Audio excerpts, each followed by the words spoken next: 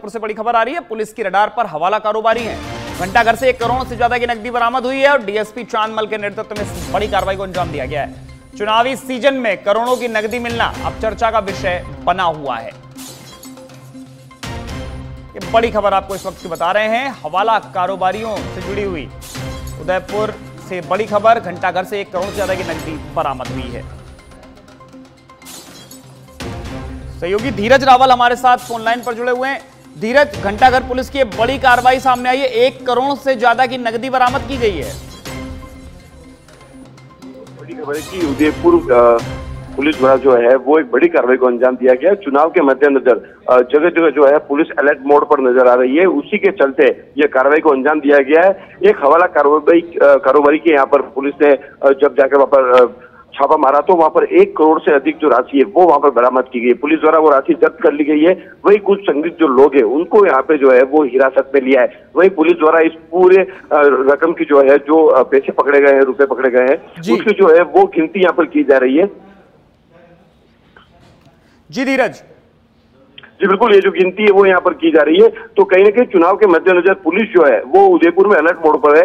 हवाला कारोबारी पे कार्रवाई होने से पूरे बाज़ार में जो है वो हड़कम मच गया है कि करोड़ों, करोड़ रुपए से अधिक जो राशि सामने अभी जो बताई जा रही है उसको लेकर के बाज़ार में जो है चर्चा का माहौल बना हुआ है। वही जो पुलिस है, जो लगातार पिछले दिनों भी साठ लाख रुपए जो है वो प्रतापनगर थाना पुलिस ने यहाँ पर पकड़े थे। तो उदयपुर जिला पुलिस अधीक्षक गोल भूषण यादव के निर्देशन के अंदर चुनाव के मद्देनजर जगह जगह नाकाबंदी की जा रही है और नाकाबंदी के बाद इस प्रकार से, जिस प्रकार के ये जो पैसों की लेन का जो मामला है, पैसे जो पकड़ने का दौर है, वो यहाँ पर उदयपुर पुलिस द्वारा शुरू कर दिया गया है। बिल्कुल धीरज, ज़रूरी भी है, क्योंकि चुनाव बेहद नज़दीक है और जिस तरह से बार बार कार्रवाई हो रही है तो उसमें ये स्पष्ट हो जाता है कि हवाला के ज़रिए पैसों का लेन देन तो लगातार जारी है।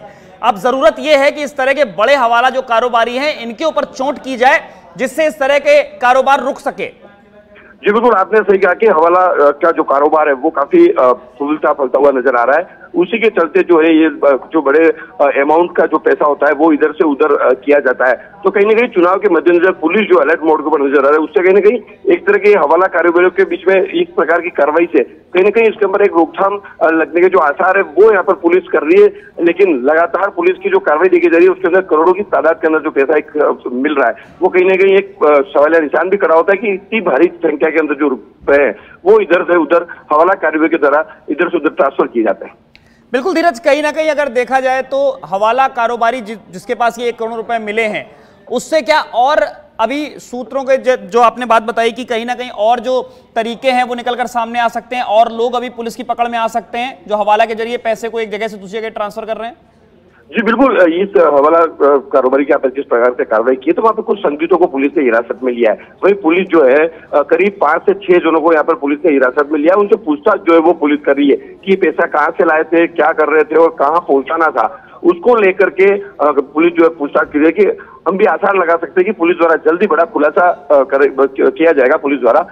फ़िलहाल अभी पुलिस ने किसी प्रकार का खुलासा नहीं किया गया है लेकिन पुलिस जो है वो पूछताछ कर रही है और पूछताछ के बाद कहीं ना कहीं एक बड़ा खुलासा होने की संभावना जताई जा रही है। लेकिन बिल्कुल आपने सही कहा धीरज ये कि पुलिस को सतर्क रहने की अब ज़्यादा आवश्यकता भी है क्योंकि चुनाव नज़दीक है पहले 60 लाख पर कार्रवाई अब एक करोड़ तो कहीं ना कहीं बड़ी जो मात्रा में धनराशि है उसका हवाला कारोबारी इस समय हवाला के ज़रिए इधर से उधर ट्रांसफ़र करवा रहे हैं फलते फूलते दिखाई दे रहे हैं। जी बिल्कुल आपने सही कहा कि हवाला कारोबारी जो फलते फूलते नज़र आए उससे साफ़ तौर पर देखा, देखा जा सकता है कि उदयपुर के अंदर लगातार उदयपुर पुलिस द्वारा जो एक्शन मोड पर नज़र आ रही है कि पुलिस द्वारा जो लगातार पहले साठ लाख रुपए अभी एक करोड़ रुपए वहीं इसी प्रकार से आगामी दिनों में भी उदयपुर पुलिस द्वारा जो लगातार नाकाबंदी करके और इस प्रकार की जो सूचना है मुखबिर की सूचना के ऊपर कार्रवाई को जो अंजाम दिया गया है भविष्य में भी इस प्रकार की कार्रवाई की जिससे हवाला कारोबारियों के अंदर एक खौफ पैदा होगा और ये जो राशि है वो यहाँ पर जब्त करने पर कहीं ना कहीं हवाला कारोबारियों के अंदर अंकुश लगाने के जो प्रयास है वो उदयपुर पुलिस द्वारा किए जा रहे हैं।